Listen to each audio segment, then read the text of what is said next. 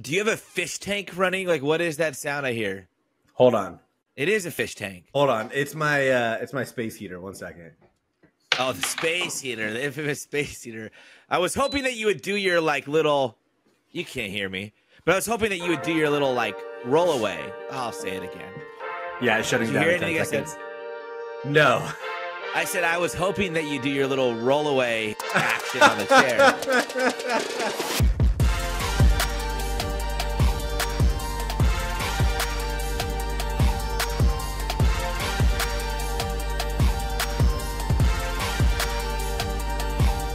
I feel like that was uh that was not necessarily a good segue. That was on cue about my space heater being on and it not feeling like summer because uh, Oh, yeah, right it's on chilly. cue. It is right. no, on not cue, yeah. here. I, look at No? me. I'm so sunburned. I'm like, Yeah, you did get I- some color.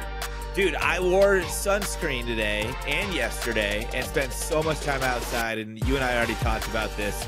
We have been in our yards all weekend long. And Yeah. I had we had to delay the start of recording episode 143 by 30 Yeah. minutes because I needed a shower. It looked like my fingernails looked like I had just buried a body in like, the dirt. I couldn't believe how disgusting they were. And then I had a random thought in the shower. And shout out to uh, the subreddit Shower Thoughts. I don't follow it, but if you're a Shower or Thoughts uh, redditor, good on you. I just got Mm. sick of their boring shower thoughts. One of my shower thoughts was I don't remember really anything about the dorm showers at all. Like I can't even tell Oh. you anything about it, and I feel like I was at least in there a hundred and plus times at least, and I don't remember anything. Do you at all? Uh, well, so there's a picture of me getting ice Oh, right. shaved into the back of my Yeah. head. I Uh, forgot about that. Which that was I don't know if the showers are in there, but it's close to the showers. But yeah, man, I don't remember. I, I don't remember. Uh, Yuri and I were actually just talking about this. Her brother was an RA at the dorms at Western Washington. And I was thinking about it, I was like, man, an RA really is just like a camp counselor. Like that's what Yeah, freshman year at college was like, is it was just like That's so camp. true. yeah, That is so Just- true. yeah. And Yeah. none of them want to get anyone in real trouble. Like they're just like, come on. Like you it's the disappointed camp counselor where they're like, Really? Again? Didn't we already Yeah. do this? Didn't you already get busted for this? Yeah. Man. Wait, I who was shout out shout out to the RAs who uh, do it for like multiple years because that is Oh, that's intense. I feel like after one year, I'd go insane. I'd go insane. Yeah. yeah. Dude, I still uh I wouldn't say like correspond with my RA, but uh I still we follow each other on Instagram. No, there you go. Yeah. I don't know what happened to my RA. Shout out J Stu, wherever you're at, Ah, living the life in Bend. I know you're in Bend. At least the last I saw you were in Bend. Total country dude. Yeah. Just a, a massive human being served in like in the army, not Yeah. ROTC, but like the actual army. He was like a 30 year old RA yeah, when we were that's right. freshmen because he was finishing his degree after like serving tours. And, Yeah. uh, yeah, he was. He could be intense sometimes, but he was a funny dude. Jay Stu, if you're listening, shout out to you, man. Yeah, and you were what what dorm were you in? Hawley Hall, baby, Hawley, Hawley, Hall, Hawley, second right. floor, Yeah. Hawley, second right. floor, all day, man. That's right. And I was gonna ask too. Like, I bet you my showers were probably so glamorous compared to yours in the Poling projects. I Oh my god. There was disease and mold growing under the cracked tiles of yours, Oh. and I had I had marble in my bathroom. What, dude, I'm pretty way. sure. I'm pretty sure ours were like the mismatched, like tricolor, but they're all tan, small tiles. You know what I'm talking about? Like it Oh, reminds you of a of like a of a cigarette filter after you smoked it, like that kind of tan. like, yeah, it Like, was. or uh, maybe they were white and it was just tan because people would smoke cigarettes in the shower. That it may be more likely, uh, given at least the 2005 class of Poling Hall. dude. And did, I, I don't know if it was just Poling, but we had the night where like the power just went out, and it was like there wasn't. I remember storm. that. Yeah, I think you. I think you uh, sent me a uh, message on AIM. like that's dating us. But I'm pretty sure you sent me a message on AIM, and you're like, "Dude, it's fucking crazy up here. The power's out. Everyone's going wild in the hallways." And I looked at yeah. my my chair to the, my desk was like within arm's reach of my door, and I opened my door because right. I'm uh, like the power wasn't out for me, and like I like opened my door, and the the hallway lights were on. There was no chaos. It was like the dichotomy of two very different but connected dorms that uh, demonstrated, yeah, that we were upper class citizens, and uh, I don't really know how you would describe Poling, but it was like that. it was like the Oregon State Penitentiary if all of the cells were just opened and the power went out. That's what it felt like. That's it was right around the time yes. where that dude was walking around with this switchblade around the fifth floor. Do you remember that? or like a butterfly oh, knife? Yeah. yeah. Yeah. You you also sent me an AIM message and told me that uh, you were getting a crew ready to fight this guy in case he started some shit. Yeah. That was, was, like creepy. Uh, I'm playing. I'm playing MVP baseball. I'm. I'm good. I'm just gonna hang out down here. I don't want to mess with the dude I, with the butterfly knife. Yeah, it was so weird. I, I feel like I heard somewhere that Poling just got remodeled and it's super nice now. But um, I don't well, know if, if, there's. Yeah, if there's a listener that has been in Poling since it was remodeled, let us know because. Uh, yeah. Yeah. Yeah. I can only think yeah. of Poling as a super super ghetto dorm. So but like, it, what it, is it now? Like it's a low security penitentiary or something, right? Yeah, it's like a it's like a county county jail, not not a yeah. state penitentiary. Man, God, there are so many memories in that that quad uh, with Cauthorn. Not Cauthorn wasn't even a dorm because it was it like was just like a ghost a, town, and they were supposed to be doing work on it, but they weren't doing work on it. No, and then yeah. sometimes you would just see like foreign exchange students there for like temporarily, and they would like pop out the door. You're like, what? Someone's in Cauthorn? How'd they get in yeah. there? Yeah. And yeah. then you see them for like a week, and you're like, I think they're just visiting, but they put them in Cauthorn. Yeah. If that's as bad as Poling, and they haven't done any work on it, like that yeah. is a, a really bad look for Oregon State. But so, who knows? No, I've never, I've still never been in Cauthorn. Me neither. And I always used to think like how cool it would have been if we could have walked in that full circle around circle. the quad. Yeah. It would have made getting to your room a lot easier for me. I think. Well, yeah, and yours too, because we would have. Well, no, we were on opposite corners either way. We were like kitty corner. Oh, because true. Buxton was between us or Cauthorn was between us. Yeah. Either way. Yeah. But I remember there were multiple times, and I will say I was not in the sharpest state of mind every time I tried this, maybe once or twice but I would go to the door on any of the floors I was on in Hawley or Poling. You know, they had they had the fire doors like connecting the dorms and to yeah. complete the quad. See, by the way, they did lock those at one point for a bit. I think they're reopened where you could not oh. walk between the the uh, different dorm wings. Oh, weird. Uh, yeah, isn't that weird? But but it felt like the sword in the stone. I'd go up to the door and it would like get slow motion, and I would reach out to the handle and be like, "Is today the day it's going to be open?" And I would like try to open it, and it was always locked every single time. And I think one time I was showing somebody you lived with or was friends with someone who lived near you, and I was telling them about that, and they were like, "Oh, you know, you can just like climb around the like the." fire pipe yeah the fire escape and get in the doors are always unlocked and i was like ah, yeah. No, I didn't know that. I think it was like the last day of school. I think the next day we like all moved out. So I've never Dude, been people... to Cauthorn. Bucket list item for yes, sure. One hundred percent. People. We should people do an episode skirt... from Cauthorn. Live from Cauthorn Hall. People people skirted around at um that poll thing on the fifth floor of Poling. I remember that. And I wasn't thinking like, oh, you could just go down to the second floor. I was just thinking like, damn, that is a really risky move. But yeah, a lot Either of way. stuff happened that that on that fire escape. Uh, somebody's TV got thrown off there. I remember. I do remember that. Yeah, it was thrown off towards the IM fields. Yep. Yeah. Whose TV was that? How did that happen?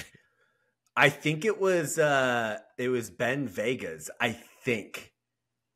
So I someone think. Stole it or he was just fed up with his TV. I don't Whatever. remember. We're not narking. We're not narking on this podcast. Yeah. This is episode Yeah. one four three. Isn't that one four three? Isn't that like pager code for love? Yeah, I, I don't know, but uh, well, yeah, no, I Maybe. love you. Yeah, it's I love you. is it? I think the thought one it was is for one I- letter, four is for four letters, and three is for three letters. And I just looked it up and it said one four three is Oh. code for I love you, especially Oh. used on pagers back in the nineties, Oh, which was a oh, just well, a great decade. It makes sense that Terry's not here then. Yeah, he's not a '90s baby. He he wishes. He'll argue that to death. He also wasn't in the quad when we were. He's also not on this episode again. Yeah. So it begs the question: Where's Terry now? He's just always missing. Yeah, I think he's he's still he's still being bougie in Italy. We we talked with him last week and he gave us the unfortunate news that he has only eaten wings while he was in Italy or while he was in Italy for the first week. So, needless to say, I was disappointed. Yep. Needless to say, so was I, and that's why I will not uh, argue for or against the fact that maybe my nails were dirty because I was burying a body. oh, he'll how never be dare you not eat podcast. wings? yeah, he's he's still in Italy. Yeah, he's just. It's episode 1430 and he's still in Italy looking for wings. He's just looking everywhere. He just, Just- can't find them. Like I said, he won't find them, but I'm glad he did. Uh, I'm Yeah. also not glad he hasn't eaten them that often. The last I saw, just to, you know, give myself a little bit of an alibi, is that uh, he had recently posted on Instagram from Italy eating pasta like a American Yeah. whatever. Good on you. Enjoy yourself, Terry. Next week it's back to this bullshit, and we'll be happy to have you back. Yeah. Yeah, that's right. I want to hear about his Italy escapades. It looks like he is having a great time out there and uh yeah. Wish him wish him to have a happy, I don't know, 3 days left of his vacation. I think he's back before the end of the week. He's back before regionals. I know. He's that. not coming back. He's, He's coming. he's, just- buried below a fence post in my backyard. a very nice backyard by the way. It Thank looks- you. It looks excellent. Thank you. Yeah. Yeah. Yeah. and so does my sunburn. I guess I almost was planning to re-bleach my hair and cut it a bit today, and then Oh, yeah. I uh now I'm really happy I didn't because it would look so white or yellow compared look- to my red face. Yeah, man, it would definitely be a contrast there. I feel like I look like I haven't seen the sun in a year. I look very Is pale. ring I light was- on? It is. Uh here, let's see what happens if I turn it off. Oh, it's that's just really dark. Yeah, Yeah. it's really dark. Keep it on. uh, If you're on yeah, YouTube, you saw that. Oh, maybe make sure next time that you're checking us out on YouTube so you can see Yeah, what Dark Benny looks like. yeah. Ooh, it's scary. Uh, oh, it sounds but like it a is- scary, creepy child's laugh. If it'll play, it won't play. All right. Well, Boo. unless you're hearing it, boo. I'm not hearing it. no, Maybe the listeners Okay, are. that was because it was a joke. Nope, it won't do the Mm. sounds. It hates Any of us them? today. Let's try this again. Go live. Ah, there we go. Yeah. Ah, nice, Ah. nice. See, hilarious. Hilarious, hilarious, hilarious. Yes, the sounds are back. Honk twice if you love the Beavs. That's Yeah. let's go. We'll be bringing that back next week. Yeah, Terry can't wait for the horns. Yeah. Did you just hit something? It No. sounded like a. It, oh, it's well. It Is- sounded like um, you know, one of those meditation bowls.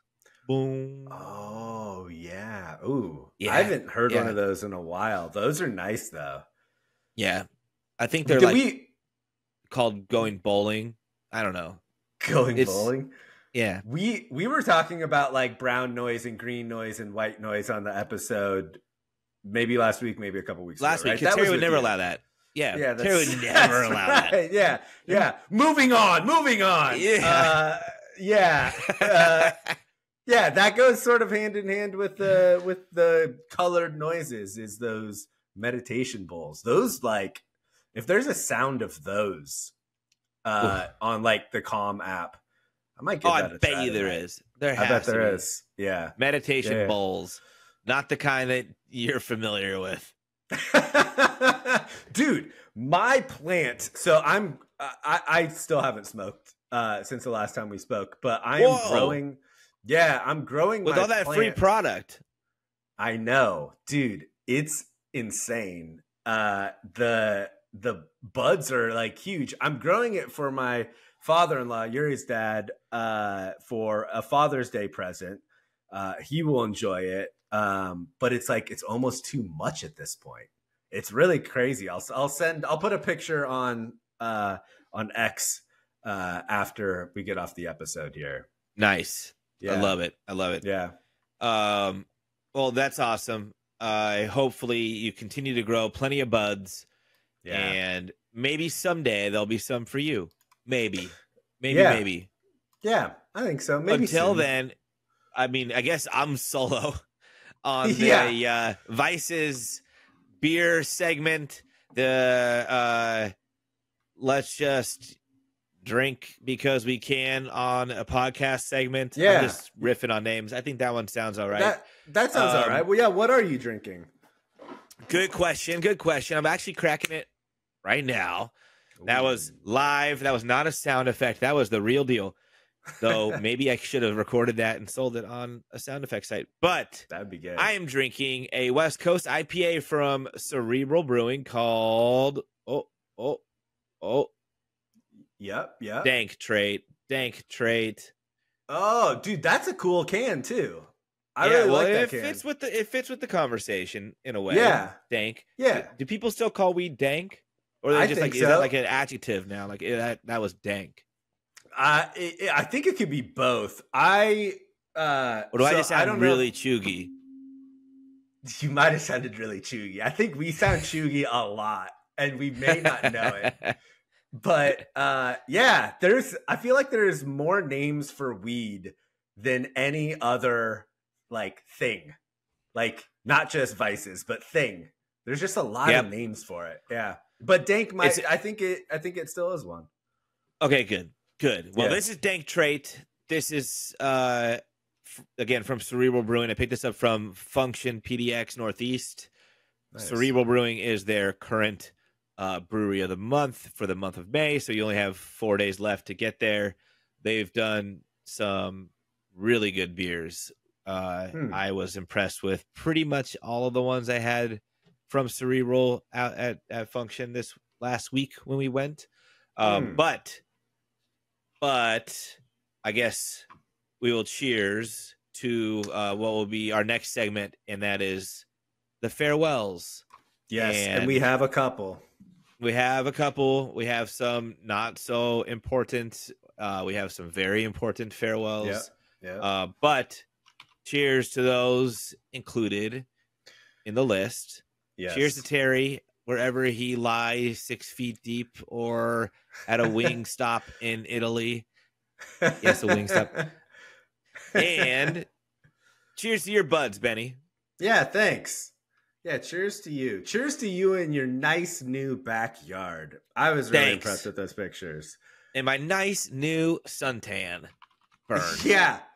Yeah, I think we were probably outside for the same amount of time this weekend. I didn't spend a lot of time out there today, but yesterday I did. Uh, dude, I was so sore today. I uh, Oh, we had this brick it was just like two steps from the uh, sort of like ground area in my backyard up to uh, our door and uh, we had like this concrete slab that led up to that and so i broke up the concrete slab with a sledgehammer like not super quick but like kind of quick and i got to the stairs and the stairs probably took me like 80% of the time. It was truly just brick stacked on brick, stacked on brick, stacked on brick. And when I hit the sledgehammer, it felt like like it did nothing and I felt like my arms were just reverberating from hitting it. So, yeah, I my body was hating You- me this morning. you got to get uh, like a rotary drill slash hammer. Oh, like a jackhammer? Well, they, yeah, but it's like an electric one, and you just Oh. it's like a little handheld one. Oh, Yeah, I've never heard. I've been that. using. Oh yeah, yeah. It's like a little like well, it's pretty big, but it's like a Okay. gun, and then you just Oh. hold like a side and a, and hit the trigger and jackhammers. Oh man, I wish I would have known about that. That's what I've been using. That's what I was using to break up. What I found and when I put up my fence, man, it was like just layers and layers of bad, bad decisions. Like just oh, this is a this is a dirt road, so I am gonna put a brick paver here. Oh, brick paver sunk. So we need something more stable. Let's do a layer of concrete. Oh, a layer of concrete is breaking up. Let's just put another layer of concrete on top of it. yeah, Like- I dug through so much just absolute chaos, absolute chaos. I was sitting out there just jackhammering away forever. And uh did I ever tell you too like I I may have stumbled um I, I shame on me. I did not do uh call before you dig. I really should have done it. oh yeah, I think um in in hindsight I I wish I would have but I also did retroactively but also now I'm worried about that I did because look the neighbors next to us they have their fence line along the act same plane as us and the neighbors on both sides actually so I'm like if they've dug post holes here like it's probably fine right And like going Right. the same direction so I'm not in an Uh-huh. issue I don't I shouldn't have any issues so I'm digging down. First pot, first post hole, fine. Next one, fine. The last one, which is close to the structure, the building of the or the uh, external uh, garage, and then Mhm. I get all the way down like I don't know 18, 20 inches, and I'm like, well, this rock is so hard to get out. This stupid river rock. Uh. I was so fed up with the river rocks, and I'm t- using my my post hole digger, and I'm like twisting. yeah, And then I look down, I'm like, this is nothing's coming up. I look down and there's just like thick wire braid sticking out. oh Jesus! so I'm like, uh, okay, I'm done. I'm done for the day. I'm going inside. I'm not, I don't know. And then the next day, I go back out there and I'm taking pictures of it. I send it to ChatGPT. oh And yeah, I'm like, this is a wire buried like two feet underground.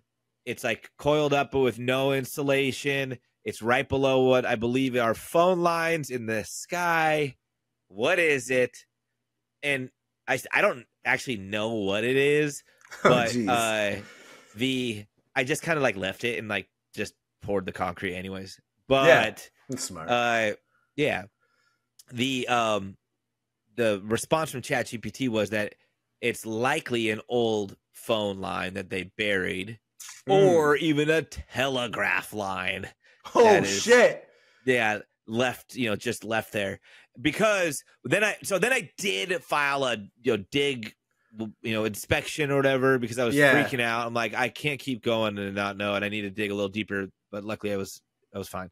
But Yeah, um i filed the whole thing and then as soon as like i'm like oh i don't need to do this anymore i don't i should cancel it i get a notice from them being like we've alerted CenturyLink to come out and inspect your dig and i'm like shit i gotta call tomorrow this is yesterday i'm like tomorrow is a holiday i'm gonna have to like wait two days and hope they don't come out before then because my fence will be up when they show up. So I'm gonna I'm gonna call them tomorrow and hope they don't come. But I'm pretty sure if CenturyLink's coming out, that means it was definitely telephone, if not even something prior to that. That was their infrastructure, and um, it was not electrical. Luckily, because it wasn't Mm. insulated, I think that was a big giveaway that it's not electrical. But then I also found out that it could have been copper, and I could have been hella rich if I just dug up the whole strand. and cut it. Ooh. Ooh, is co- copper? Yeah, I know people like steal copper wire sometimes. It must be Yep. pretty expensive. Yeah. Yeah, that Yep. I always get I always get nervous when I'm digging. I had a big project in my backyard uh either last summer or two summers ago, but they I had the same thing. I had people come out and mark where the gas line and water lines all were. And so like I kind of remember like generally where where they were, but anytime I get close, I always get very nervous. There's a a fire hydrant on the corner of my property, so I know there's a big Oh, ass yeah. water line that that's Yeah. somewhere in my yard. But yeah, it's scary. you you gotta i mean you just gotta be naive about it i think and then, or, and then And don't overreact because then when you overreact like I did, and then you file a dig inspection after you've dug, and then you're impatient like I am. So instead of waiting four days for them to show up, you just keep going anyways. Yep.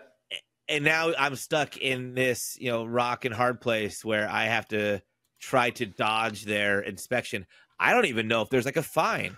Could there be a could they arrest Oh. me for now that I've alerted them that I was digging and I didn't do the call before you dig? If it was I from the city, like- maybe. But I, I, think I mean, CenturyLink. Well, I don't know. CenturyLink is such Century- a. They they'll probably fine you no matter what. yeah, I was gonna say they're gonna probably th- bury me next to Terry in the pit below my fence. yeah, I, Uh. well, you're like me, where you you get going on a project and and you just don't want to stop until it's done. Yeah, I can't. Yeah. I can't, or else I won't get back to it. I mean, especially Right. something that is laborious as you know, digging out building fence a fence and building dude, a fence. those that sucks. Yeah, Yeah. that's hard work. Yep. Yep. Speaking of laying to rest, however, uh, let's talk about some farewells. And I think the first one that's interesting enough to talk about and maybe doesn't so directly apply to Oregon State, but that would be uh, the death of amateurism in college athletics. Yeah, It was this week. So today is Monday, May 27th. We did mention at the beginning this is Memorial Day. It's the Mhm. Memorial Day scaries for those who usually have the Sunday scaries. It's even worse Oh, because so today's one of those worse. days where you're like, it was sunny. It's a barbecue day. It's a Mhm. celebration of, you know, America and our heroes. And now I get to go back to my job, right? Like it's Yeah. it's it's Oh. a it's a rough one. Uh, but on May 23rd, so four days ago, the NCAA and the Power Five, including the Pac-12, Mhm. Agreed to a deal that will allow the schools to pay players for the first time ever yeah, in the history of college athletics. And they will uh, be paying players up to, I believe, roughly $20 million per year per program, depending Oh, upon- shit. a revenue sharing plan that will be obviously to be determined at a later Mhm. date. There is a lot to unpack and a lot of unknowns Yeah. around what this actually will entail and what this will impact. Yeah, I think the the like the, the big point of this is is this is just a tip of the iceberg because so. if you're opening the doors to allow universities to pay athletes in any way beyond education and directly referring to it as revenue sharing, Mhm. that will just open the floodgates. And like Mhm. the NCAA has got to protect its ass at this point. It is totally backed in a corner when it comes to the ex athletes and current athletes and everyone else breathing down their necks Yep. the universities are trying to figure out is there a better way to navigate NIL, which has only been created out of necessity because of the fact that there was no pay structure for universities to redirect funds that they had earned on the backs of athletes back to those athletes. Yeah. But now, can you still call a college athlete an amateur? No, absolutely not. No, they're getting paid. Like that Yeah. isn't the whole thing with amateurism. Like you're not getting paid. You're I mean, the idea is that you're playing for the love of the game, but like, yeah, the whole concept is you're not getting paid. And now they are. Um dude, I, I don't know what this means. I know schools operate on somewhat slim margins, so I don't know. It almost feels like specifically football is going to have to be its own entity and it's probably going to have to be split up like completely from the structure of the university. Like it will be its own totally separate thing. Um, and you I think might you're see right. like the whole athletic program go that route. I agree. I agree. But I also think that if football splits off and that is the end all be all of the you know uh, splitting of the university and amateurism and the student athlete from athletics and an Yeah. athlete, professional athlete, that everything outside of football could also get left in the dust. And Yeah. if football is the driver for media deals, if it is the driver for attention and revenue for university and the rest Mhm. of their athletics programs, Mhm. well, who's who's offering TV money to like volleyball? Who's offering Yeah. TV money to men's soccer, wrestling? yeah, Like yeah, at this point, all the money's just gonna go to football then if it splits Mhm. off. So there Mhm. has to be something done by the universities to say, okay, yeah, we're rev sharing. Yeah, athletes are being paid. Yeah, we are paying athletes as employees, Mhm. whether it's football or not. Football operates in its own conference and structure. Mhm. However, we all operate under one umbrella media deal or a couple umbrella media deals that trickle down to the off seasons that have coverage for the other sports that also get paid that also have rev sharing. yeah, But what I'm curious about is how does this change the student athlete? Because we talk about it all the time about how special these athletes are for choosing Oregon State. And one of the Mhm. biggest reasons they choose Oregon State is because they love the school. They Mhm. love the community. They they they like the major, right? Mhm. And if the community and the school and the major don't matter and it's all money, Mhm. I'm not gonna say it won't matter completely, but like this could change a lot. I mean, it could change a lot around anybody ever becoming a powerhouse that isn't already. yeah, right. Well, I think, like you said, there's so many unknowns. I think the biggest questions to me that need to be answered are number one, like, what does this do to NIL?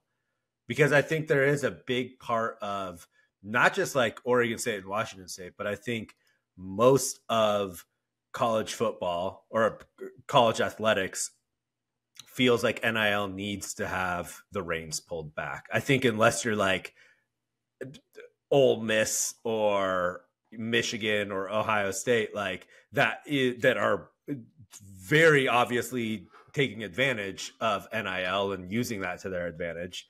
Um, I think most of the college sports fans want NIL to be reined in to some degree, and like does Or this just add a level of transparency.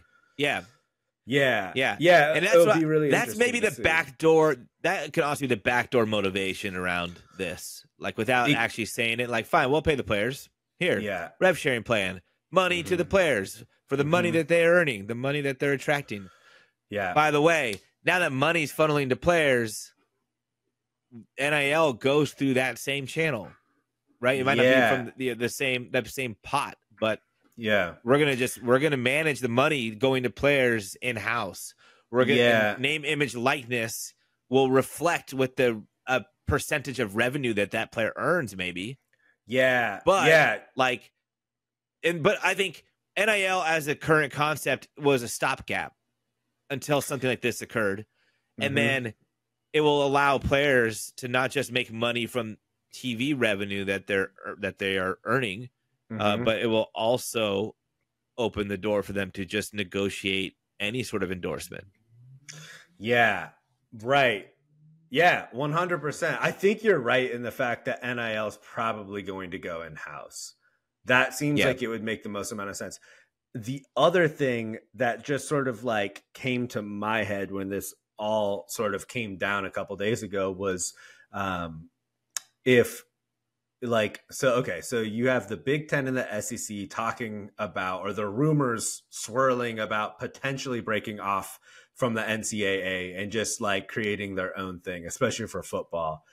And if that sort of transpires the ncaa i mean the ncaa is sort of a joke as is right now. And you could see a world where the ncaa just sort of disintegrates and uh, there's like not really Especially a governing body Yeah, Right, right. Like there's not really this governing body, and so the rules be like become a little bit more ambiguous. And so then it's like I know I know you said it's like a twenty dollar or I'm sorry, a twenty million dollar cap that's put on this this pay, but like if there's no governing body, does that mean that then it's really up to like the states for state schools to decide like you can spend X amount of money on athletics in paying players. And so, like, if you have Oregon that wants to say, like, you can have $40 million and you have Michigan, the state of Michigan that says you can spend $15 million, like, I don't know that that just just sort of an interesting dynamic of something that could play out. Um, yeah.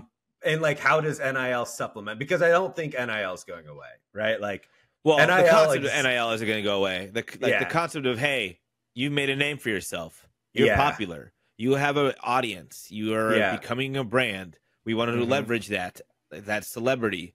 Yeah, that is. I mean, that is the like what has made marketing tick since it was invented is yeah. finding an audience and a celebrity uh, or someone who has some sort of celebrity and leveraging them for your own gain. Right? Yeah. And so, and people are willing to um, transact that because they will be paid as part of participating within that process. And right. so I think athletes will start to do that more so. Will that bring more transparency? I don't know. I don't, mm. I mean, maybe, maybe there will be money on the table that people it, will be reported, right? Like, hey, so and so got two million dollars to do yeah. a bunch of ads for Gillette or yeah, you know, Beats by Dre or whatever. Like they they might go that route.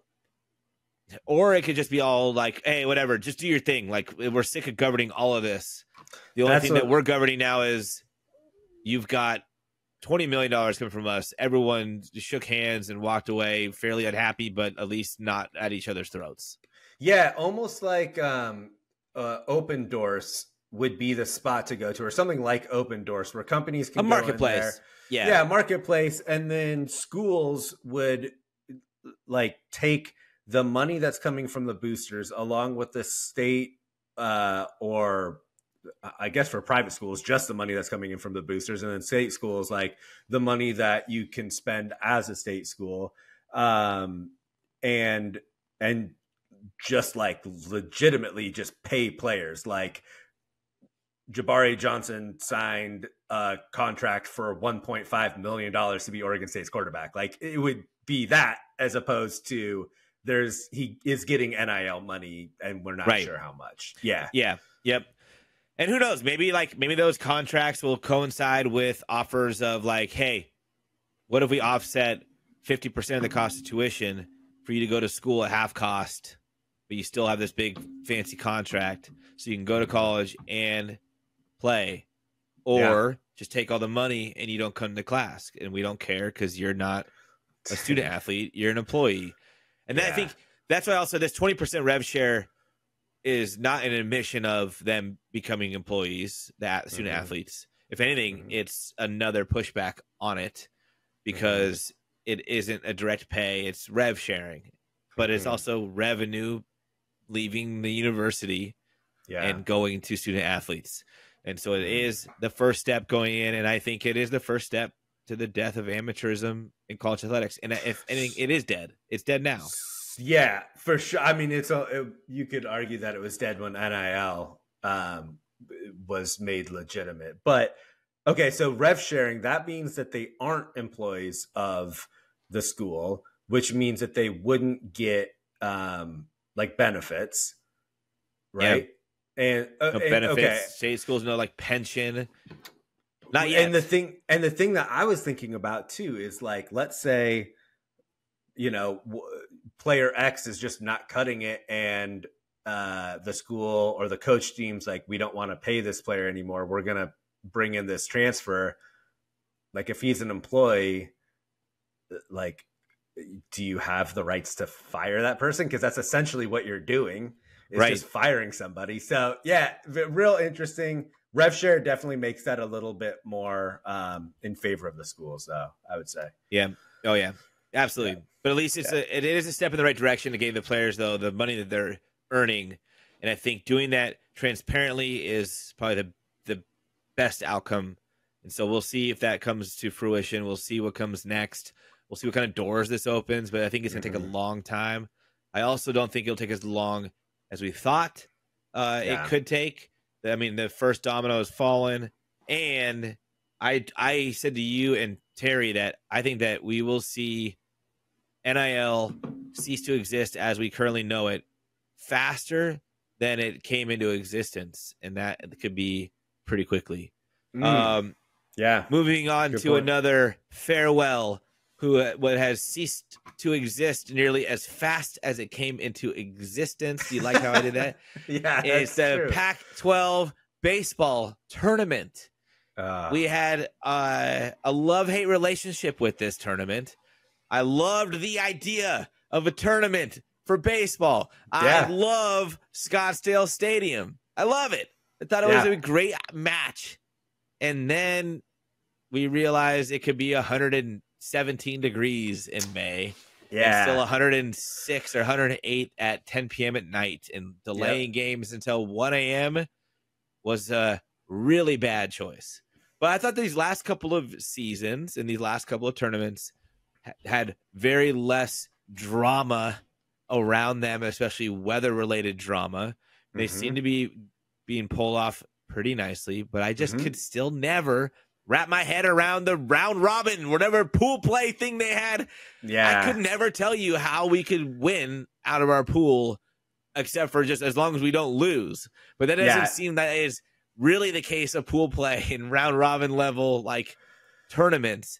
There has got to be some backup plan, and I feel like every time we were there, I could not tell you our backup plan. So, no. what were your thoughts? Final thoughts on the Pac-12 baseball tournament that uh, is no longer with us. Yeah. Oh man, it uh, I- it felt like it was becoming something, um, and uh, I mean, Oregon State fans always travel well. There are a lot of Oregon State fans there. Um, I don't know. I don't really think you could put it in a major league park if you moved it out of Scottsdale. Although Scottsdale is such a cool. That's spot. you need a destination. Yeah, Scottsdale. Maybe go to- Yeah, you're right. Maybe go to Vegas. Yeah, and playing the Las Vegas, what is it, 51s? Yeah, Las Vegas. Yeah, uh, play in their stadium. That would be cool. Yep. Um, yeah, I I don't know. I, I agree. The round robin was set up a little weird, but with nine teams, I don't know how else you would set it up. Uh, I mean, I guess you could have sort of a convoluted like uh, tournament where certain teams get buys along the way. Um, but yeah, like unless you were the top seed, in order to guarantee yourself into the next round, you had to win both games. And um, yeah, for basketball, that makes sense. For football, that makes sense. For baseball, it's just such a random crapshoot. sport. yeah, It is a crapshoot. Like yeah. yeah, that it's it's I would say it's much tougher to win that way if you are a um like a top seeded team. Which is why I and we'll get into this in a second, Yeah. but that that is why I don't think that Oregon State Oregon State Twitter or the NCAA uh college committee uh or NCAA tournament committee should have knocked Oregon State down for losing a game to a Stanford team that had an incredible pitcher. Um, it's just like, yeah, coming coming out of a conference as a top one or two seeds, being knocked out in pool play should not be looked at as like a catastrophic uh, showing at the Pac-12 tournament. But yeah, it's I agree with you. It's it's a cool concept. There is no other real like tournament for baseball, like professionally, I think that people pay attention to. So it is a, a really cool uh, idea just in sports in general. Yeah, yeah. I think that they were on the right track. I think they were fixing a lot of the issues. One that you can't predict, though, of course, is the weather. But I Mhm. love the location in Scottsdale. Old Town Scottsdale is great. It's fun. Yeah, And Los Olivos is, you know, maybe not the best high quality Mexican food, but man, I will eat there every day if I could for the rest of my life because their chips and salsa are the best thing possible after sitting in the Oh. sunshine in Scottsdale Stadium. You just walk a couple blocks to Los Olivos and boom, you're on your way. But oh, uh, and the same time that we lost the Pac 12 baseball tournament, we officially had the final live event for the soon to be defunct Pac 12 network. Yeah. And at least as we know it, Mhm. um, it was a pretty sad uh, closing after the game, talking about, um, you know, Roxy Bernstein was like talking about how he grew up watching the Pac 10 and then he went to Mhm. Cal and he called like Cal games on the radio and how he, um, wa- you know, was honored to be one of the earliest hires for the Pac 12 network. And then he's like, you know, it's been an honor to bring you guys. I think they said 9,000 live events since it launched. Yeah. Yeah. And It's a lot. well, so it launched 12 years ago, which is symbolic for it being the Pac 12, and now it's Yeah. gone. So it was really just the 12 year Pac 12 Mhm. network. Yep. Um, and they, but they showed a little replay of the, the first broad or the first of, uh, I guess, show broadcasted on the Pac 12 network when they launched. And I remember watching the launch and being like, finally, some respect for the Pac 12. We have our own network. Look how sick this is. I can't believe it. It's going to be so awesome. Classic games, interviews, like Yeah. just every sport. Because there was a time that even like football games weren't broadcast on TV for, Yeah. for the Pac 10 Yep. like not that long prior to 2012. So I was so excited for it, and then rewatching all this stuff made me so bummed out. And I just, I mean, I think I feel so much gratitude for all the producers, the hosts, the reporters, the analysts, everyone working behind the scenes at Pac 12 Yeah. Networks. I, I mean, I truly feel like it was a phenomenal product One what they hundred did was top of the line uh, effort for Yeah. any collegiate conference network. They blew them all out of the water, Yep. But no one could watch them. But it seemed seemingly me. So Yeah. Yeah. that was That- the downfall. One hundred percent, and I think the Pac-12 network. eh, You you hear the name and people sort of like groan or roll their eyes, or uh, there's a lot of frustration behind the Pac-12 network. But the talent on the Pac-12 network was truly amazing. Uh, And the technology. watch- yeah, I don't watch a whole lot of the Big Ten network or the SEC network or the Longhorn network, but I have watched them, and it just felt like the personalities on the Pac-12 network uh, were, for lack of a better term, just better and more interesting. Um, I think that uh, they did a much better job of making sure that each school was represented, uh, more so than some of the other conference um, networks. Um, but yeah, man, it is it is sad. I know um, you know, we both grew up on the West Coast as fans of teams in the Pac-10 and uh just like I don't know, not not even watching Oregon State games, but watching like Stanford versus Arizona State and hearing that um the like that the music that you would hear on Fox Sports Northwest or Fox Sports Bay Area or whatever it may be um like that's just going to no longer be the case and yeah like some some of the schools are going to be in the same conference but um there is no Maybe. prom- yeah That yeah Clearly, that's maybe the discussion of things that could change too. But yeah we won't true. talk about farewells yet. Maybe somebody Yeah. will address some of these uh, secondary conference farewells for Yeah. these uh, treacherous ten. yeah But yeah. yeah yeah I, Yeah. I I feel like the network did such a great job with pretty much everything it promised, except for getting in to the living rooms of everybody. yeah And obviously, that's where you make your money. That's where you Mhm. build a brand, and that's where you live or die. And that's where the Pac-12 network died. That's where the Pac-12 died. yeah And so, yeah, I mean, you look at the, the the technology, you look at the talent.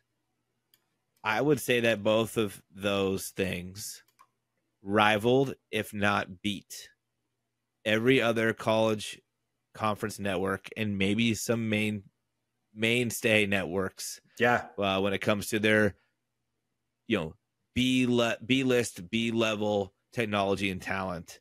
Mhm. These guys, everybody, the Pac-12 networks were just top notch, absolute pros. And so, I hope that they stick around in some capacity with the new Pac-12.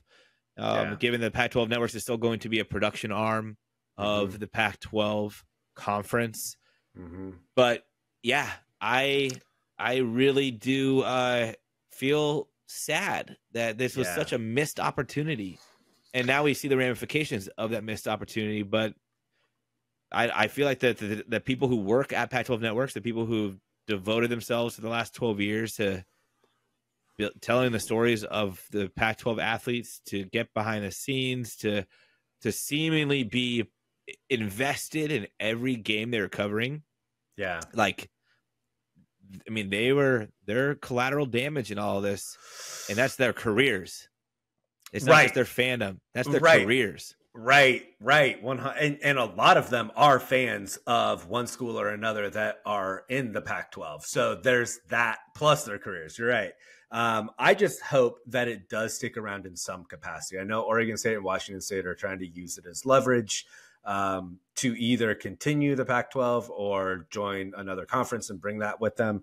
Um, I just hope that if it does continue um, and, and truly continue as a- an entity, that they maybe go back to their original philosophy and lean in on the Silicon Valley aspect of it. Um, and you were talking about the technology being second to none. There's so much new technology coming out right now. I just think like that would be such a smart move to to sort of revisit that initial philosophy yep of partnering up Yep. with some of these bigger tech companies. yep i agree i agree uh speaking of partnering up speaking of somebody that was a now really lifetime partner uh of the pac 10 pac 12 uh we sadly had to bid farewell. This morning we heard the news. Uh i think all of us at belligerent Beavs felt strongly a strong sense of sadness about this news.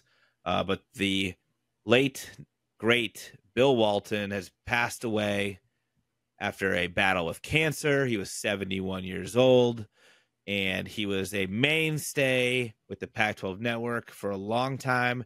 He's been a mainstay for being the biggest cheerleader for the Pac 12 conference. Yeah. And yeah, he's gone. And sad, Yeah. it's a, it's a sad world to be in beyond his affiliation, I think, with the conference that we love, that he loved, but also that he was just a one of a kind human being. And I think people had their own mixed feelings of how much they enjoyed his rants or his quirks or his political views or his local municipal views. Like, it's okay to have a mixed feeling about the human, but the greater body of work of his life, he is going to be a massive loss uh, in so many regards beyond just college athletics. So I uh, would, yeah, just I just want to say that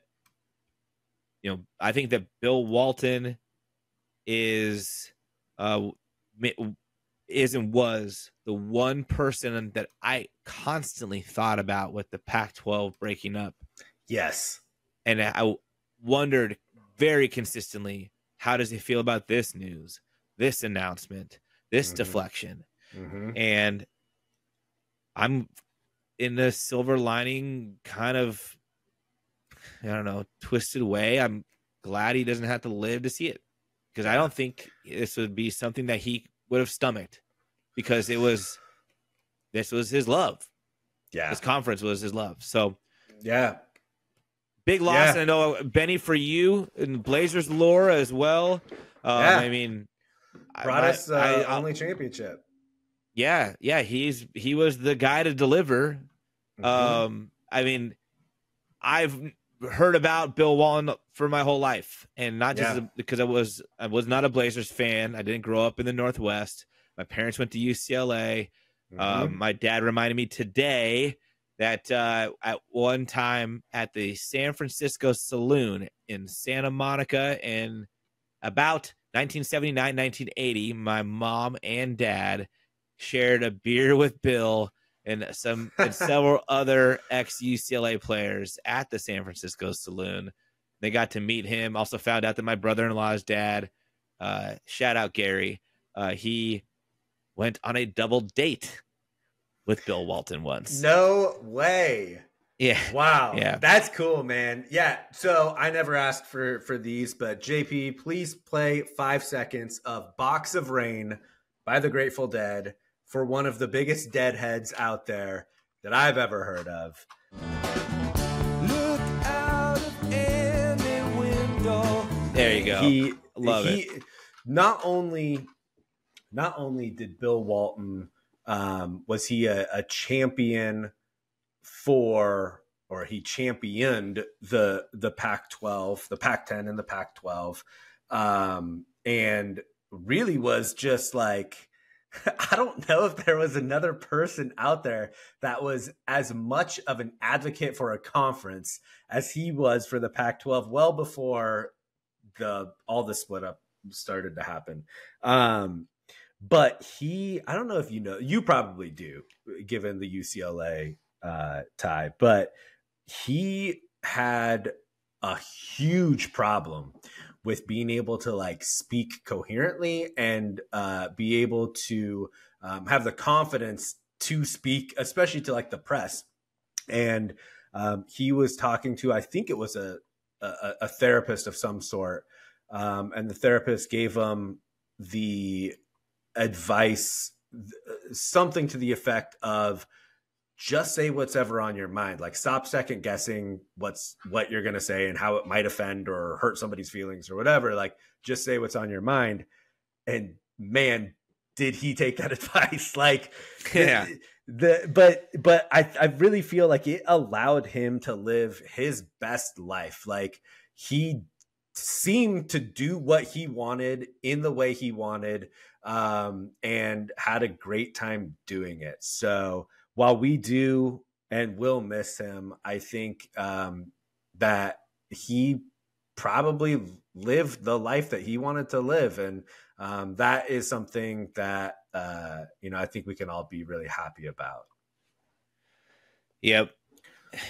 And I think just the fact that uh, you know he was constantly being himself, Mm-hmm. I think he opened up a lot of people's attention and eyes to viewing sports beyond the competition, viewing Mhm. a competition beyond an outcome, and really trying to understand, at least look at and uh, hear out the perspective of there's something bigger and better and greater happening right now beyond this basketball game and going on in front of us. And whether it was talking about the cities he was in or the communities or stories or anecdotes, Mm-hmm. it made everything feel so much bigger than a bucket that was just scored. yeah, And I think he had a great way of helping you see the bigger picture of life, uh, especially through sports and especially through our conference. Um, and he was a big he was a big advocate for Oregon State. He was a big Yeah, advocate for huge. Corvallis. Yep. Huge. Um, one of the quotes that uh, yeah, I loved. I, I remember him saying this, and he's he's he he did have a tendency to recycle some of his thoughts on TV. um, and so you'd hear a few of his quotes or phrases time and time ag- and again, but that was part of the charm. That was part of what I at least loved tuning into any Bill Walton called game. But uh, you know, one of them is the quote: "Every trip to Corvallis is a journey back in time, where the values of tradition and loyalty are still held in high regard. It's a place where you can feel the heartbeat of college sports. yep, And that to me sends chills down my back, man, because he nailed it on a, on the head. He nailed the idea that what is the heartbeat of true college sports was the loyalty. It was the tradition. And we're Mhm. losing sight of that. And I think what we'll lose sight of eventually as well is all of those bigger picture aspects of the competitions unfolding in front of us and what they signify and what they actually mean. yeah. One, because we won't have a, a great storyteller, whether or not it was easy to follow uh, or not. Uh, we won't have a great storyteller like him here to help usher us through those stories. And um, I just, yeah, I, I mean, it's one of those like points where you you do realize how big of a loss it is beyond. Oh, he was a funny commentator. Oh, he's a legend uh, as a basketball player. Like what he was able to bring to viewers and fans was a sense of community beyond just you know the the the bounds of your city or your school. It was the conference. If anyone invented back to Pac, it was Bill Walton, and it was not for Oregon. that is true. I will say there are a lot of good uh, sports commentators out there, whether it's you know Bob Costas or Mike Tirico or Scott Van Pelt. Like there are a lot of real class acts, but I would never tune in to a, a sporting event to listen to any of them. I would tune in to a sporting event to listen to Bill Walton. He just like he was such a goofy dude, and I feel like there are a lot of like people out there that strive to be different to create a brand or to be noticed or to just be to get noticed i guess. Um but i have all the confidence in the world in saying like that was just who he was. Yeah, um I, how how could it not be? Like that you that is that's not an act. That's just who he was if you listen to any of his broadcasts any the, like his counterpart would have so much trouble just trying to keep up with a what his what he was talking about but b just like his his energy and um it just made for such a great viewing experience i thought Yep, I agree. Yeah. I agree, and that is a very, very good point to call out. Is that he did essentially make appointment TV from a for a, a commentator, and that's that is an incredibly amazing feat because you don't ever hear about somebody tuning in for a sporting event just because there was a commentator on it. Unless it was like a celebrity commentator then maybe i'd understand but he was appointment tv uh, whether it was as a commentator or an athlete um, yep. and i yeah i think on behalf of all of us we'll just say we will miss you bill thank you for your contributions to society to the conference to oregon state to, uh, to sports fans and to anyone anywhere who just wants to be themselves and strives every day to do so appreciate you bill Yep. One one last thing I want to share about him, and and I think you will really appreciate this. Let's hear is I saw I saw a quote, um, or maybe a story with a quote, uh, but it essentially was somebody that was in the bathroom. They happened to run into Bill Walton, and uh, they looked at someone and they go, "Hey, that's Luke Walton's dad." And Bill Walton turns around and he goes, "That's the biggest honor I've ever received, or that's the biggest honor I've ever heard." Um, so just like, dude, that is, I think that says it all about Bill Walton. yep I thought that was really cool. selfless selfless Yep. 100%. Yeah. All right, Bill, rest in peace. Rest in Um, peace. uh, moving on, it's not going to be you know, as easy as it sounds, but moving on to the diamond, uh, we did touch on the Pac-12 baseball tournament. We'll give a couple quick thoughts. Uh, also talk about the road to Omaha, which starts this Friday, and uh, then we'll get out of here. But uh, before we do, we'll do a quick hit of seam headed. So if you haven't yet heard in any of our episodes since baseball and softball had began their 2024 seasons, check out Seam Headed. They have some of the best merch and apparel for baseball and softball enthusiasts on the planet. They've got sweatshirts, t-shirts, great designs, uh, clever, clever plays on words, and They also have a one of a kind belligerent Beavs collection. That means it's made for you, the listener, the viewer, because one, we don't make any money from this. All we like to do is just support small business. Even though Benny works at Amazon, this is his retribution. is he supports small business on our podcast and Seam Headed is a small business. They also do a great job, and they also have a belligerent beavs collection. They've got cool T-shirts like the Benny with the giant baseball shades. They've got the home plate of Corvallis map shirt. They've got the beaver swinging a baseball bat in black and orange, reminiscent of the MLB logo. It's awesome gear. And when you make your first purchase at Seamheaded and use the discount code at checkout, CHOP'em. If you don't know how to spell CHOP'em, you don't know how to spell hope. So when you get to checkout, plug in CHOP'em. Can't spell it without hope. And you will receive the absolute nicest discount in the game. 31% off. That means you're paying how much, Benny, for uh for retail? 69%. Nice. Nice. 69%. That mean not off, but you pay 69%, which is way cooler than a 69% Way discount because then that means you're only paying 31%, and which is that's what that's boring. But you get 31% off to pay 69% on your seam headed purchases. Chop them, check out seamheaded.com. All right. Now, we've started to talk about baseball. Let's talk about baseball. Talk about it. We had a week. We had a week. Yep. We Mm. started the Pac 12 tournament. Was that Wednesday morning, 10 a.m., Wednesday morning Pacific time? That's right.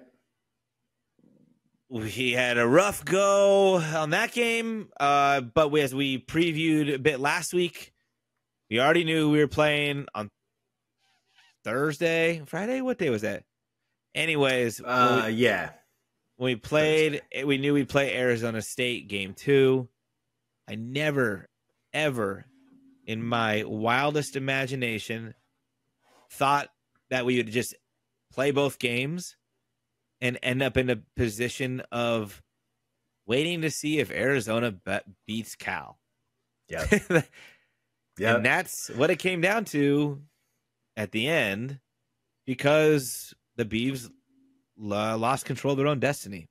hmm But Benny, what were your thoughts on the first two games? Yeah, I mean, like I said before, I think it's really difficult to. Um, it's a it, there's a lot less predictability in a baseball tournament where essentially like you have to win your first two games. It doesn't really matter who you're playing because anything can happen. One one pitcher on one team can determine the difference. And Stanford's pitcher did pitch very well, and I will say Arizona State's pitcher pitched well too um, it is concerning that our offense was so quiet, especially having erupted in the Arizona series. So it's I don't know, it's it's a little dicey, I feel like going into the postseason. Um, but with all that being said, like I, I I just point back to like men's or women's college, but like just college basketball in general. If you're a number one seed in a conference going into the tournament, especially if you're in a Power Five conference and you get knocked out in the quarterfinals, like that's not good. that's not good. Um, but this isn't that. Th- this is different, and uh, it's. It, I put a little bit of weight into it um, because Yeah. Arizona State and Stanford are both less like UC Irvine's better than both of those schools for sure. Yep. Um, and uh, yeah, I mean, it I certainly it did not give me faith that uh, a road to Lexington for the super regionals is a given. Uh, I'll just say that. yeah, I I didn't leave the Pac-12 tournament feeling dismayed or excited. Yeah, I think what it left me with again was more questions. Mhm. Like, and I, I've come to the realization that the reason why I have these questions all the time about what is this team capable of, it's because I have still yet to see them put it all together. Like I have Mhm. still not seen the pitching dominate the way that we've seen them dominate. And then we also consistently put up like 10, 15, 16 runs. Mhm. We've done it once or twice.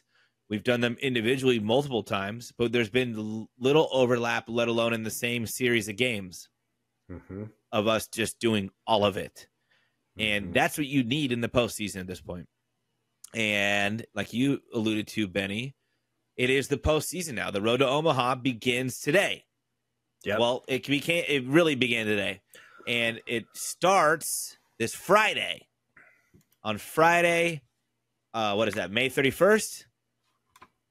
Yeah, I think so. That sounds Friday, right. May Yeah. thirty first. Game one and two of the Corvallis Regional. We're hosting, dude. Yeah. We are hosting. Um, we'll talk a little bit more about wh- where we fell uh, in the host ranks, but um, we're hosting, so we've got some games at home. It's time to pack Goss, fill Goss. Goss got them all day long. Make make our opponents feel it when we're not even playing. Yes. Get there and be loud and just do what you can to rattle these players because our first game is Friday. We're game two. It's against Tulane. It's at 6 p.m. But we've got what? Tulane, Nicholls State, which is hilarious. I just love that Nicholls State always pops up in, in games with us. We've got Nicholls State, which I swear at one point had one L. And I swear at one point they also decided to say we're actually not I- State, we're Nichols. yeah, I thought And- that too. And I thought both of those things. Yeah, and now they're Nicholls State with two L's and state, and now they're in our regional. How dare they do Yeah. any of these things?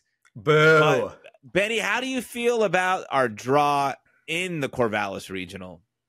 dude I, so i don't like it at all uh and we'll get into this i think a little bit more but being the number 15 overall seed um obviously has implications of where the super regional is but it also has implications of who your number two seed is uh and uc irvine has been at least in the latest college baseball rankings uh or in most of them a top 20 team and Yeah. they have been on uh, a bit of a roll uh, going um, you know at, the- at the end of the season granted like well I, I can't even say like the competition was inferior because it was like uc or uh, i'm sorry uc uh, cal state fullerton um, cal state northridge uh, and there's one other school in there where it's like okay they've Santa Barbara. traditionally been Santa Santa Barbara. Yeah, and Long Beach State too. I don't know how those schools necessarily did this year, but traditionally Santa Barbara's schools good. are really good. Okay. yeah. Um yeah, I mean, so Irvine scares me. Uh Yeah. But eh, I mean, Tulane and Nicholls, I honestly don't know much about them. I think uh like I'll tell you we better win on Friday. Um right? Like we better win on Friday. We have to win on Friday. I do I I would be incredibly disappointed if Oregon State doesn't make it to the super regionals. And I would be because we're playing at, at Goss and we are Oh. just a different team at I Goss. don't even want to even think about that possibility. I, Yeah. because the because what would come next will would be a lot worse than what will be probably coming next if we're just following the trends of every other yeah. program that ends their season. Yeah. But yeah. I agree. Yeah, I- uh, Irvine is a tough draw, tough draw. Yeah. They are the only top like 100 RPI school with 20 road wins. Oh shit! I did not know that. 20 road wins. So Niagara is, has an RPI of they're 103rd in RPI and Uh, they have 23 road wins. Uh, but they play the majority of their games on the road because they're 23 and 12 on the road and they're 12 and 3 at home. And then you go back and you look at Irvine, they're 20 and 5 on the road. You want to call this a neutral site and then there's just a host? Fine. They are 3 and 0 at neutral sites. And just to top it off, they're also very good at home. They're they are 20 and 7 at home. Irvine is Mm. a tough draw. yeah. A tough draw. We cannot lose to Tulane. We need to set ourselves up to have as many games and chances as possible to escape our regional. And as you talked about, Benny, because we're on a collision course for the winner of the Lexington Regional. And of course, that's hosted by number two Kentucky. But I like our odds there. If we escape our own regional, even if we have to go to Kentucky, because Kentucky, while they have a great record, just like us, they aren't the best at home. They have the of the I think top 10 teams that are hosting. They have the worst home win percentage of all of them. So Hmm. it's not like Oregon State where we win 24 of 26 at home. They've won 21 of 27. Every other school in the top five, even, has only lost a max three games at home. So those will be tough to get in to go to on as a super and pull off a W. So I do like the odds of even if Kentucky if Kentucky does make it out of their regional and we have to go out to out to Lexington, I like our odds. What I don't like is the UC Irvine being in our regional. And I Yeah. don't like that at all because they have the most to gain and the least to lose. And that is never a fair fight for anybody who's on the flip side of that. Yeah. That it has that um remember when Auburn played in Corvallis in the super regionals and Auburn ended up winning that series. Um Oh, yeah. that's what it feels like to me. Whereas like that was an Auburn team coming in, if I remember right, was a number two seed in the regional. Yeah. I don't think they hosted the regional, but it's like they came in with that same feeling of like nothing to lose. They were from the SEC, so they probably had a losing record getting into the tournament. Right. But they had, they, yeah, they like they had nothing to lose, and um, and Oregon State, it always feels like in baseball we have everything to lose because there's so much pressure put on this baseball team because they're really like our only team, our only uh the only team in our athletic program that is historically just like good every year. Even on our bad years, we're still good. Um and yeah, I just don't like I don't like playing that sort of role where you have a team I think any team that comes out of the Big West too is just always has a chip on their shoulder. And that's not a team that you want to run into here. No. Um, but I do. So yeah, I think Irvine's going to pose a really big test, and I would not be surprised in the least bit if if there is a final deciding game in the Corvallis regional, right? And um, that scares me for sure. I do think the Kentucky so Kentucky is one and three in their last four games. Um, and I mean, here's the thing that I like I take issue with is if you look at their last four games. So they lost to Vanderbilt. That was their last regular season game. Vanderbilt wasn't ranked. Then they lose to number 11 LSU. They beat number 2 Arkansas and they lose to number 10 South Carolina. But it's it's like how are those rankings legitimate because those schools are all beating up on each other. I mean, you have you have 6 teams from the SEC that are all ranked in the top 15.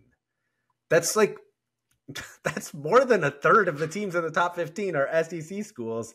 I just I feel like there is a true SEC bias. I think it's a Oh, hard to gauge uh, where where they are actually at as a team. Well, they, they I- it- I just think everything is hard to gauge. overcomplicated by like how you perform against a certain team in a certain series and compared to the other teams, how they performed. But no one accounts Yeah. for who was pitching, who was injured, who was hot, who was not. Yeah, and you just Yep. end up with looking at like wins, losses, series victories, series losses, and you're stuck with just numbers.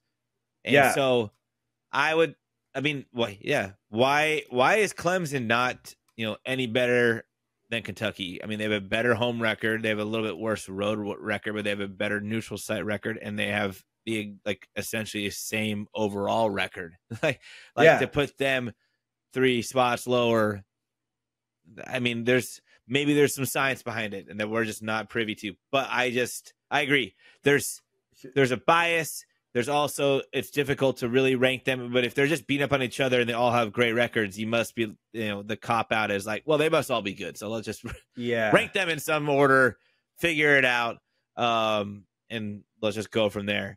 I What's crazy? What's crazy to me is that Kentucky's the number two team in the country eh, in the polls, and not only did they not win the SEC outright or the tournament, they didn't even win their division in the SEC. Tennessee won the division in the SEC East, and Kentucky was number two. So, I mean, just even furthering the point of just this SEC bias. Yep. Yeah. Well, we've always known there's a bias, and you know they've they've they've had major network control for a long time, and that's evident, uh, not just with local reporting uh, or even any sort of publication reporting, but yeah, TV. But uh, you know, looking at looking at the number fifteen ranking and the implications is there anything else beyond that that you feel needs comment uh or do you feel disrespected by that you alluded earlier talking in like well we didn't really like lose that bad to to go that far we just didn't win in this weird format Yeah. well, uh, yes, I do feel disrespected, and I feel like I've, I, like, I feel like I've kept my mouth shut to a certain degree of the disrespect that Oregon State has been feeling, that have been getting, just for the last year and a half. Um, but this is, I, I haven't seen an outright disrespect as egregious as this, and I get that the RPI shows that we're not the number six or seven team in the country. I I get that, but the but all of the polls who uh, none of them are computer polls. They're all uh, people that are giving their rankings, um, and all of those had Oregon State as the number six or number seven team in the country. At least all the ones that I saw, and Oregon State yeah, they lost to Stanford. They did beat Arizona State. So they lost one game that they probably shouldn't have. But they almost swept Arizona. They're three outs away from sweeping Arizona, who is a number one seed in this tournament. They were three outs away of sweeping them on the road. So like they people are like, well, they stumbled at the end of the season. No, they didn't. They were nine. Yeah. They were nine and three to finish the season Right. with a very close sweeping of a number one team. So, Yeah, and- and- um, what like five five and two in their final series and tournament yeah, yeah, and uh, like, so I think a couple things are going on here. I do think that the committee looked at the Pac-12 and said that this is a shit conference, which I do agree with to a certain extent. That the Pac-12 was not very good uh, this year, um, but Oregon State was really good, and they showed that they were really good, uh, especially as of late. I mean, after the Arizona series, I, I think I had said something to the effect of like, I feel Yeah, like you- I feel good about going to the postseason. Like this, it, it's finally starting to be put together, and so like I would understand if they if the committee said like, oh, the Pac-12's not good. We're gonna put Oregon State as like a nine or ten seed. Like that would have sucked because we're still playing the super regional on the road, but we're not Maybe. getting drawn. Well, and I have a question for you about that after. But uh if so, but we also wouldn't have a number, the number two seeded team be like a UC Irvine. Um, and it did feel like just such a slap in the face. Like that, that would be like putting, and not to make all these basketball analogies, but that would be like putting the number six team in the country as like close to a number five seed in the tournament. Like that just, it, if people would be so confused by that if that happened and I saw people on like Oregon State fans making the argument of, well, their RPI is really bad, but then they shouldn't have been ranked number six or seven. like, I don't get how it matters with the NCAA selection committee, but not with these polls. So I don't know. I short answer is yes, I felt disrespected. Yeah, I the something needs to be ironed out here. Like the RPI stuff feels a little bit like BCS, right? And Yes. it's like it's it's I'm I'm fine with that because if there's Mm-hmm. consistency and it's it's applied across every discussion and every interpretation of how good a team is. I don't mind Mm-hmm. a computer doing it. Hell, if you throw in everybody's results, if you threw in somebody do this. I don't have the time to do this, but somebody please do this. Throw in every single like butterfly effect game result of any team that has some sort of nth degree connection and put all of those box scores into ChatGPT And- and ask it to rank the top 25 to top 16. I would love to see what it came up with. I would Yeah, love to see. I would love to know what kind of logic it used. But if you're just going to look at the numbers, fine. If that's a consistent metric, fine. It shouldn't matter one way or the other of like, well, this is just the number they got because of who they're playing, and that's the Yeah. output of the results of the games they've played, or versus, uh, well, this is the eyeball test and I saw this improve or I saw this not improve. That's why I'm worried and that's why they lost. And that's why I don't have faith in them being better than this other team they've never played. Right? Like both arguments are fair, Yeah. but they contradict each other so much that I just want I just want consistency. I just Mhm. want one reliable source. And I think Yeah. not just uh, that's not just str- strictly baseball. I think that it would be great to have some sort of true ranking system like the BCS was attempting to be uh but with you know a broader scope of reality and AI could be a component of that. I- for sure and and baseball would way, make way more sense to do that with than football agreed. I agree. yeah yeah, football's a harder one to like just take a take a box score and you know elaborate out to say, well, how did this game actually go then? yeah Right? Like there could be so many things that don't end up in the box score that mattered in a football game and had a huge Right. impact in the outcome versus baseball. Essentially, every single move is measured. Everything. everything is on paper yeah Yeah. So I agree. I agree. But maybe that'll come. Maybe OpenAI and the Pac 12 can partner up and for all games played in Corvallis or Wazoo next year. Well, well no, I guess Wazoo's going to the uh, WCC for baseball. So any game oh they are played in Corvallis next year as the Pac One, independent Pac One, Yeah. then we should have AI determining everything for us, and we can use Nvidia's supercomputer they're put on campus and use OpenAI as a partnership with Silicon Valley, and then maybe Apple will take up our baseball games, put those on. Uh, uh, you know, one of their two or three choices for Friday night baseball that they do uh, on Apple TV. Uh, any That'd final be thoughts cool. on baseball? I have one, but I'm going to pass to you real quick. Yeah. So uh, f- first, I'll say uh, that the so Pac-12 got in three schools: Arizona, Oregon, Oregon State. The Sun Belt got in four. Like that's how bad this committee thought of the Pac-12. and honestly, like fuck Cal, but also I kind of feel bad for Cal for getting left out, which is it's sort of it's pretty crazy that they got left out. But well, it didn't help thing- us. That explains a lot about us and USC. Exactly. Yes. Yeah. Oh God, I know. That's that's what I thought too. USC definitely should have been in too. Yeah. Um, but uh when it comes to these super regionals, I'm looking at um so let me take a step back. I thought that everything was reseeded after the regionals.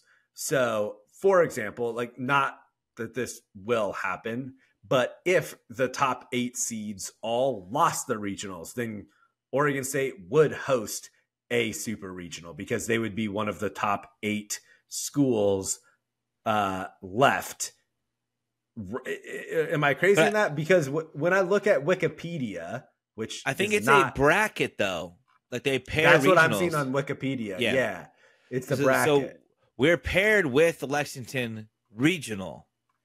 yeah, And then whoever comes out of the Lexington uh, and Corvallis regionals with the highest ranking hosts the super Uh-huh. Oh, regionals okay. So between if, those two teams. Got it. Okay, so it wouldn't like if if Kentucky lost the regional, we would not still be playing in Lexington. We would be playing in Corvallis. Yeah.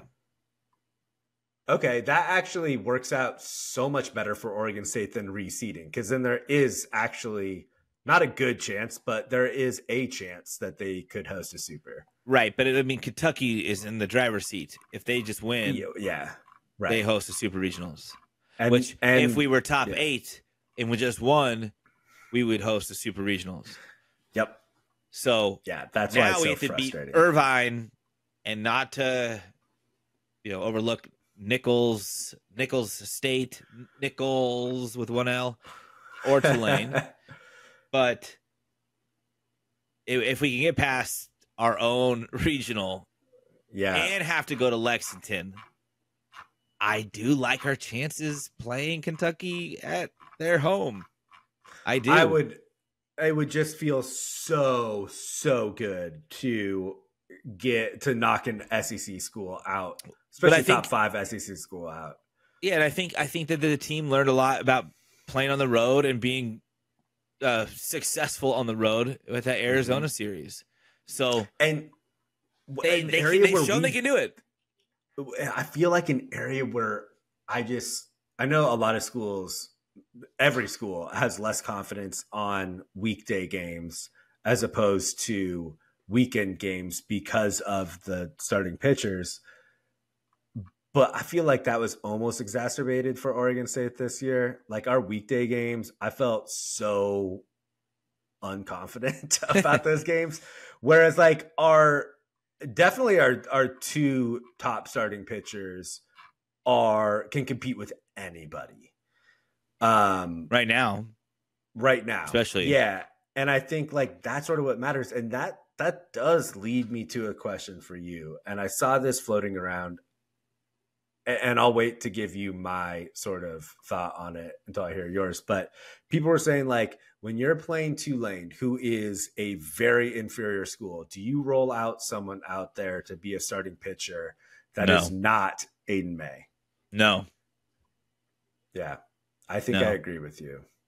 Every game matters right now. Win Yeah. every game. hmm You you Yeah. don't play poker in this. Yeah. This I think I is this is all the chips are in. So Yeah. you have to play your best players every game from this point forward. I mean, Mhm. we fucked around too much. Like that's why we're in this position to have to do that. I think if you're hosting, mm, like in your uh, you know locked to host a super regional, if you come out of your regional, maybe maybe I want to go like you know weekday starter like in any way, but maybe you save May for some you know I don't know final game, the deciding game. Yeah. But I think what you do now is you just have to run him out there if necessary for a deciding game. yeah. Like, you just yeah. And I you put him up game one, and then you you if you need him, whatever game that is, like four, then you run him Mhm. out there game four. Yeah, I think I agree with you. And it's interesting to think like so if it, like if Oregon State's up like let's say 8-0 at the end of the third, do you pull Aidan, save his arm and then wear your bullpen out? Cuz that's where I have the most issue is the bullpen is shaky. And I know you you felt probably more so that way than I did um, but especially with uh, the the series at Arizona. But um, like I don't know, there's just so many ways to go about it. Irvine just scares me so much, and I like I agree. You don't play poker here. Every game does matter because if it bites you and you lose to Tulane, like that, that then you're fighting uphill uh, a lot. I think, I, I yeah, I think you run out. Yeah, you run out May, and Yeah. you know, Oh, yeah. hope hope, hope that to. he has hope that he has some really efficient innings. Get him out by like the you know fifth inning if possible. Save his then- arm as much as you can. But then we run into the same issue, even if we're up ten nothing in the fifth. No Yeah. lead is safe, it seems, yeah, with this team on no any given kidding. day. I think you just think what you just say you're you're throwing until you can't. Mhm. Yep. Sorry. I I think one It's the postseason. thing- Yeah. And if you're if you're scoreboard watching, what I want to see is Nicholls and UC Irvine having like a 17 to 20 game where the relief the bullpen is just completely depleted and the starting pitcher obviously has thrown a lot of uh, pitches. Uh, I think that you hope. That's that's what you hope for. So Oh yeah, or the re- and the reliever has all all the bullpen has thrown forty pitches each or something. But yeah, yeah, yeah, yeah. I'm into that. Uh, also, one thing we didn't we came out right after our episode last week, which was without Terry, and it's by far been our most successful episode. By the way, thank you for everybody. We got more five star reviews. We've got more subscribers on YouTube, and we've had more views on YouTube uh, since that episode came out than any other episode, and it's clearly because y'all have to look at Terry. But I'm just kidding. Uh, I, Which is why he's things. buried in the back of JP's yard. yeah right. But one other thing that came out after that point was uh the Travis Bazzana was named Pac-12 Player of the Year. yeah. So shout out Trav, way to go, Boz, Boz is Mitch and The Darwin Boz. call him the Boz. Uh, and yeah, well deserved. I think well deserved. Uh, We'll see what other accolades are headed his way. We've talked quite a bit last week about the Golden Spikes and what that could mean for him. What could that could mean uh, for his career, the way that the teams and scouts view him, um, and his legacy at Oregon State. All that's TBD. He's somehow fighting off 48 different semifinalists for that award, uh, and, and there's supposedly some uh, rule and logic in how they decide a winner. We'll see. We'll see where it goes, but I still strongly feel like, yeah, Pac 12 Player of the Year was a lock, and Golden Spikes should be a lock, and number one overall draft pick should be a lock. And I think Yeah. the latter of which will be very much influenced by a very strong performance in regionals and super regionals. I feel more strongly uh, that, or more confident about the latter of him being the number one pick than being the Golden Spikes. The people that are at least if the people that are the committee and picking the teams in the tournament have anything to do with the Golden Spike, I do not have confidence in that at all. That's true. That is true. That is true. All right. Uh, before we get out of here, we're gonna give a shout out to the goat, our favorite, Jade Carey.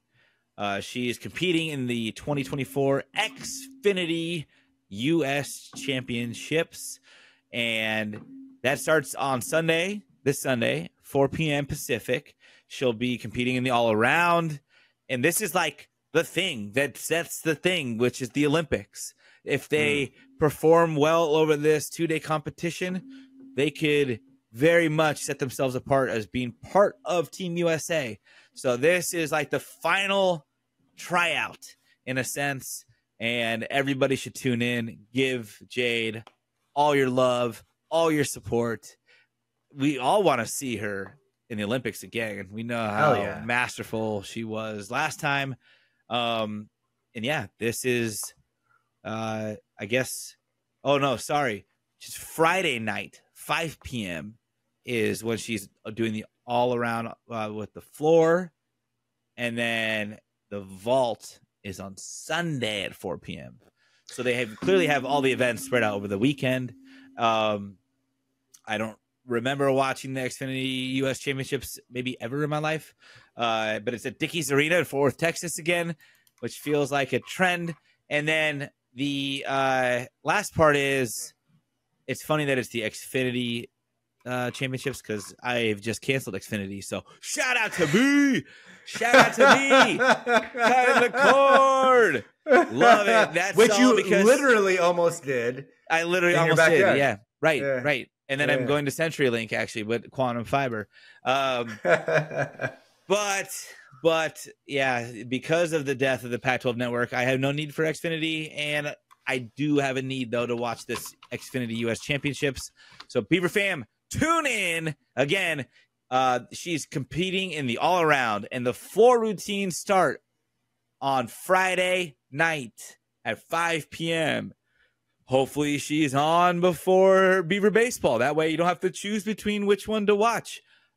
I would have to say that I would tune into Jade Carey on the floor because one, it's a lot shorter, so you might as well pay attention and just watch the masterpiece unfold. But two, she's a gold medal Olympian and might be having a chance to go back to do it again. So I would watch that. Uh, at least tune into that, regardless of the score of the baseball game if she goes on after 6 p.m.